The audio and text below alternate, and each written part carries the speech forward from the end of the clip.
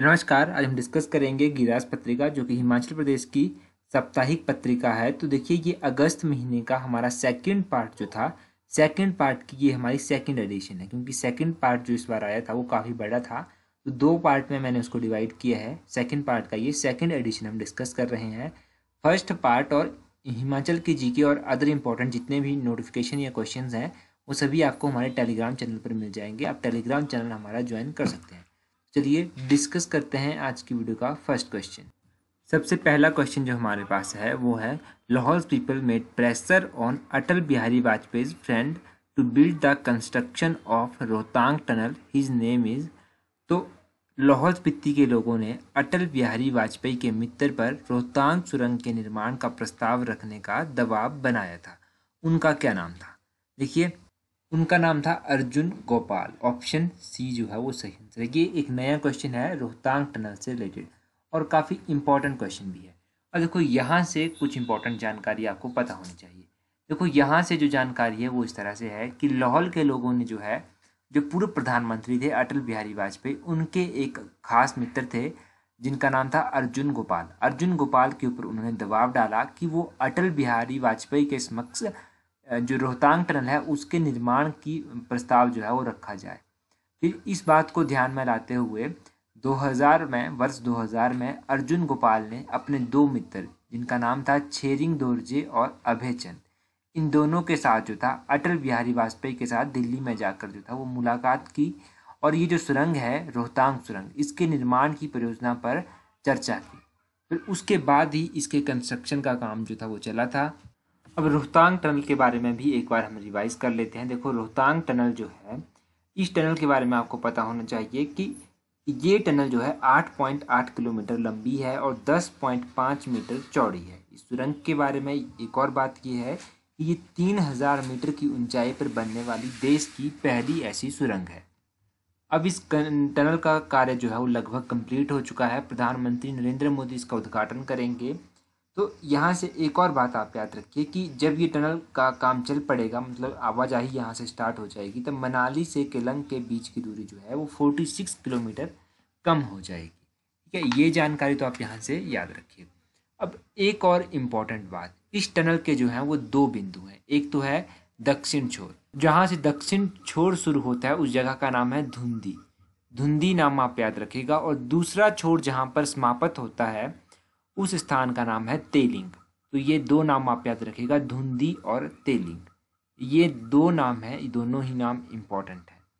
धुंधी और तेलिंग। तो आपको यहाँ से क्या क्या याद रखना है? एक तो रोहतांग टनल की बेसिक इन्फॉर्मेशन उसके बाद जो अटल बिहारी वाजपेयी के फ्रेंड थे, अर्जुन गोपाल, उनका नाम। और अर्जुन गोपाल के साथ दो और लोग गए थे, छेरिंग दोरजे और अभयचंद, उनका नाम। और उसके बाद आपको धुंधी और तेलिंग नाम जो है, वो याद रखना है। तो ये बेसिक बेसिक चीज़ें आपको अटल सुरंग के बारे में याद रखनी है। काफ़ी इंपॉर्टेंट जानकारी थी। आई थिंक ये क्वेश्चन पहले मेंस के एग्ज़ाम में पूछा जा चुका है। काफ़ी साल पहले पूछा जा चुका है। नेक्स्ट क्वेश्चन नेक्स्ट क्वेश्चन है about nineteen twelve which revolutionary from Mandi place left the teachers job to visit America and Japan वर्ष 1912 में 12 के आसपास मंडी के किस क्रांतिकारी ने अध्यापक की नौकरी छोड़ अमेरिका और जापान का भ्रमण किया था। देखो, मंडी के एक ऐसे क्रांतिकारी थे जिन्होंने अध्यापक की जॉब छोड़ दी थी और उन्होंने अमेरिका और जापान का जो था वो दौरा किया था। उनका क्या नाम था? उनका नाम था हरदेव राम। ऑप्शन ए जो है वो सही आंसर है। अगर बात करें हरदेव राम की तो देखो, हरदेव राम ने अमेरिका और जापान का भ्रमण किया था अबाउट 1912 1912 के आसपास इन्होंने ये भ्रमण किया था। 1914 में जो था, ये क्रांतिकारी बनकर भारत लौट गए थे। अब इनकी भेंट जापान से जो था, वो ये इन्होंने क्या किया, जापान से संघाई में हरदेव ने जो था, वो गदर पार्टी के नेता थे, मथुरा सिंह उनसे इन्होंने भेंट की और खुद को जो था, वो गदर पार्टी के अधीन ये ले आए। उसके बाद 1914 में ये क्रांतिकारी बनकर जो था, वो मंडी लौट गए थे। यहाँ पर आकर इन्होंने गदर की गूंज, गदर संदेश, ऐलान जंग जैसी पत्रिकाएँ पत्रिकाएँ भी जो था, यहाँ पर मिलने लगी थी इनके आने के बाद। अगर मंडी की ही अगर आप बात करेंगे तो मंडी के कुछ क्रांतिकारी हैं, जैसे रानी खेरनगढ़ी। रानी खेरागढ़ी को जो था, वो ललिता कुमारी के नाम से जाना जाता था। ये भी एक इंपॉर्टेंट रोल इन्होंने यहाँ इस टाइम निभाया था। अगर रानी ललिता कुमारी की आप बात करेंगी तो इनको बाद में चलकर देश निकाला दे दिया गया था। और हरदेव राम जो थे, इनके घर में एक बार पुलिस ने 8 मार्च 1915 को छापा मारा। परंतु हरदेव राम जो था, वो शिमला के पहाड़ों से होते हुए बद्रीनाथ जा पहुँचे और उसके बाद गंगोत्री तक के जा पहुँचे थे, वहाँ पर इन्होंने स्वामी भूपानंद महाराज से जो था वो दीक्षा ली थी। तो ये आप याद रखेगा हरदेव राम के बारे में। हरदेव राम भी एक इंपॉर्टेंट पर्सनैलिटी है, इन्होंने भी काफ़ी इंपॉर्टेंट रोल जो था वो अदा किया था। नेक्स्ट क्वेश्चन देखते हैं। अच्छा एक और बात, अगर आपको वीडियो हेल्पफुल लगती है तो वीडियो को शेयर ज़रूर किया कीजिए। अपने जितने भी व्हाट्सएप या फिर फेसबुक टेलीग्राम जितने भी ग्रुप हैं उन पर वीडियो को शेयर ज़रूर करें। और वीडियो को लाइक करना ना भूलें। नेक्स्ट क्वेश्चन देखते हैं। नेक्स्ट क्वेश्चन है। Bombs were recovered from which of the following revolutionary and later sentence to be hanged निम्नलिखित में से किस क्रांतिकारी से बम बरामद किए गए थे? और बाद में फांसी की सजा उन्हें सुना दी गई थी। देखो, ये जो था, ये हृदय राम ऑप्शन सी जो है वो सही आंसर है। हृदय राम से बम जो था वो बरामद किए गए थे और बाद में चलकर इनको फांसी की सजा जो थी वो सुना दी गई थी। इनके बारे में भी थोड़ी सी जानकारी आपको पता होनी चाहिए। हृदय राम को जो था, वो भाई हृदय राम के नाम से जाना जाता था। मंडी में गर्द, गदर पार्टी के सक्रिय एक कार्यकर्ता थे ये। 1940 में इन्होंने क्या किया? अमृतसर ये चले गए। जब ये अमृतसर चले गए तो यहाँ पर इन्होंने रास बिहारी बोस, मथुरा सिंह, करतार सिंह सराबा, भाई परमानंद के साथ भेंट की और इन्होंने यहाँ पर बम बनाने का प्रशिक्षण जो था, वो लिया। अब बम बनाने का प्रशिक्षण जब इन्होंने ले लिया तो एक बार ये पुलिस के हाथों पकड़े भी गए। तो 26 अप्रैल 1915 को लाहौल सेंट्रल जेल में मुकदमे की सुनाई हुई थी, जहाँ पर भाई हृदयराम को इनके साथ करतार सिंह थे, डॉक्टर मथुरा सिंह थे, इन सभी को जो था वो फांसी की सजा सुनाई गई थी। परंतु हृदयराम की पत्नी थी सरला देवी। हृदयराम की पत्नी सरला देवी ने एक अपील की थी, जिसमें इनकी फांसी की सज़ा को आजीवन कारावास में बदलने की बात कही गई। और इनकी जो ये कारावास थी, वो आजीवन कारावास के रूप में बदल दी गई थी। मतलब इनको फांसी की सज़ा तो सुनाई गई, परंतु बाद में उसको आजीवन कारावास में बदल दिया गया। ये भी आप याद रखिएगा। और इन्हें जो था, वो काले पानी की सज़ा दी गई थी। इन्हें अंडमान भेज दिया गया था। ये जितनी भी जानकारी है, ये गिरिराज पत्रिका में सारी की सारी आई थी। मैं यहाँ से आपको डिटेल में समझा रहा हूँ तो आई होप कि आप लोग यहाँ से एक बार भी अगर आपने इसको पढ़ा है तो अभी आपको ये इजीली समझ आ जाएगी। तो ये तो इनके बारे में हो गया। अब आप इन दोनों ही पर्सनैलिटीज़ के बारे में याद रखिएगा। हृदय राम हो गया और हरदेव हरदेव हो गया जो हमने ऊपर पढ़ा, हरदेव राम।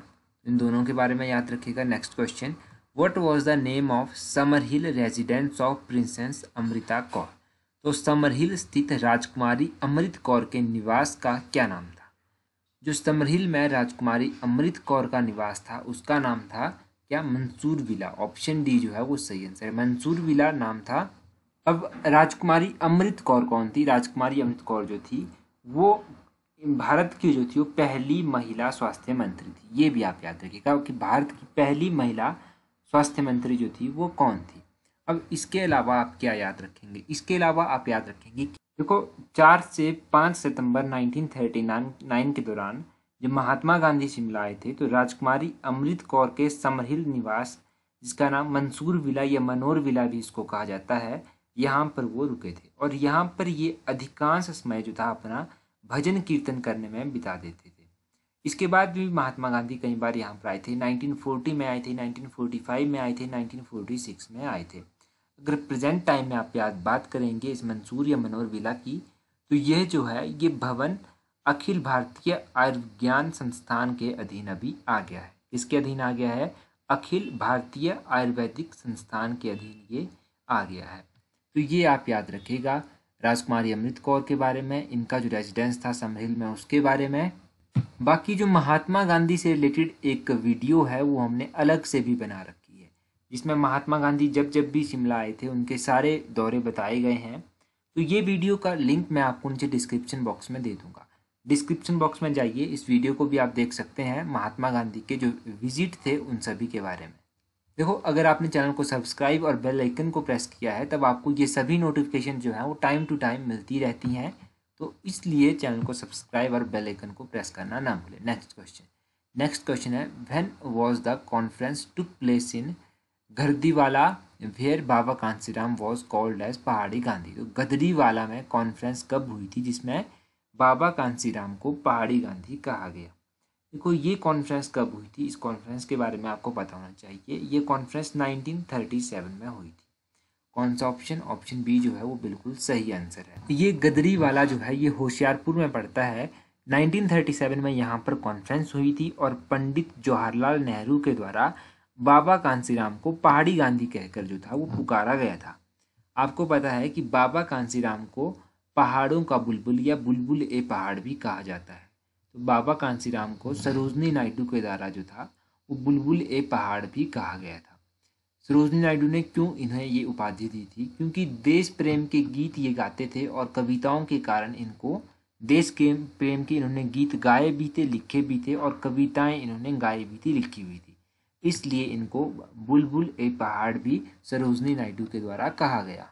अब बाबा कांसीराम की मृत्यु जो थी, वो 13 अक्टूबर 1943 को जो था, वो पहाड़ी बाबा कांसीराम का देहांत जो था, वो हो गया था।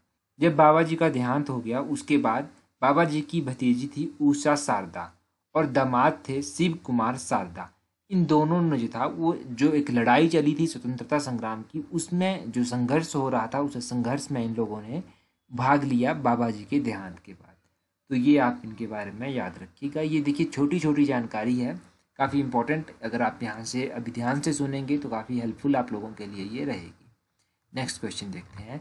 Which native princely state took an approach of neutrality in freedom struggle of 1857 सन अठारह सौ सतावन के स्वतंत्रता संग्राम में किस देसी रियासत ने तटस्थता का दृष्टिकोण अपनाया। तो आपको पता है, बुसहर रियासत ऑप्शन डी जो है, वो सही आंसर है। ये आप सभी को पता है, आप कमेंट करके बता दीजिए उस समय बुसहर के राजा कौन थे। अब देखो, ये अठारह सौ सत्तावन का विद्रोह हुआ, हो रहा था। बुसहर ने यहाँ पर साथ साथ देने से जो था, वो साफ़ इनकार कर दिया। अब बुसहर के राजा शमशेर सिंह इस दौरान थे। इन्होंने क्या किया? इन्होंने एक अपना पक्ष रख दिया कि, भाई, हम साथ नहीं देंगे। उस समय डिप्टी कमिश्नर थे विलियम हे। विलियम हे ने जो था, उस टाइम रामपुर बुशहर में चाहा कि हम अपने फौज भेजें और बुशहर को फोर्सफुली अपना साथ देने के लिए मनवाएँ।